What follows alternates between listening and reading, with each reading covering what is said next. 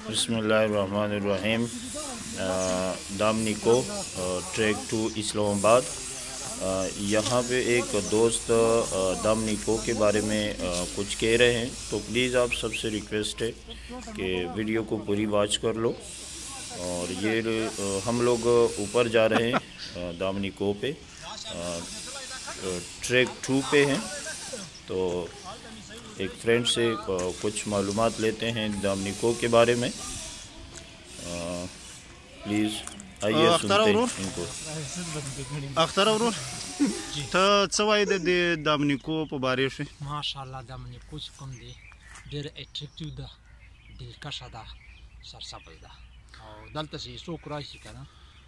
هغه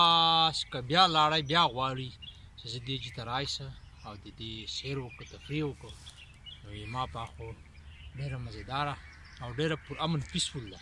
دا تا فرست ټایم ده یا مخکې راغلی نه زه خو څو ځلې مخکې راغلی یم نن دې موږ خو ماشاءالله فرست ټایم دلته دلته فرست ټایم راغلی بس دلته د امریکو ته ته فرست ټایم هغه نه بعد دا ټور ته ځو ها راځو د امریکو دا دلته خو څو راغلیو تعلق تا کومې علاقې نه ما جی لکی مروت لکی مروت خاص لکی مروت شو دا نور ملګری څه څوک دي دا در سره ملګری ده حمید الله خان نامې ده او بچپن ملګری مو ده ماشاءالله نن سبا ډېر ښه جاب دي اسلام آباد چې ده دا بل څه کوم ده کرام خان ده او دا مطلب دا د موږ ملګری ده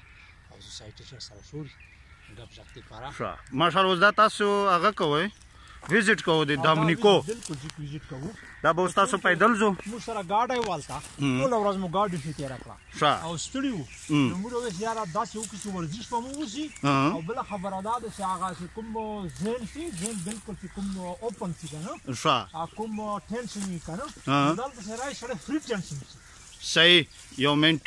ته اوس فری ټینشن دی دا ماشاءالله مړه سي دی چې هر کله سزا دغه تر راغلی یم کنه نو یقین مې نه سي زه ډیر خوشحالي او ډیر محسوسوم او موږ ملګری دي کنه ما ډیر ملګری دي هغه به ویني اوس دا نو هغه دا غواړي کنه با چې هغه ته زه ورسره نو چې ورته وایم چې یاره دا مې کو ترازو ضرور شه. نو هغه ډېر یې ما په دعوت یې ما په لیدو سره ما ملګري چې څومره تقریبا دا علاقه یې کتلې ده دا یې کتلې ده تا ټارګټ څه ده چې ته به دې ځای ته خېزې ما دا پاس چې کوم لیدې شي که نه دا بالکل دا غار چې کوم دا باندې دي که نه اخري ټاپ دی ټیک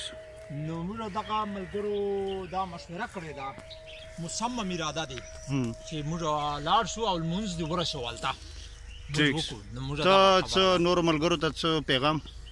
چې بس ملګرو ته دغه پیغام دی چې خپل چا کار روزګاری او جابي هغه د سپ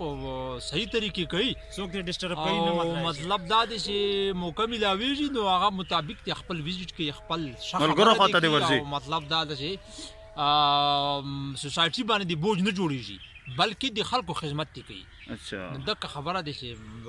معاشره سوسایټي با ایجوکیټ خلک دغه په سمت سمو اختیار کو نو صحیح کیږي ټیک شو مهرباني ثانک یو ویری مچ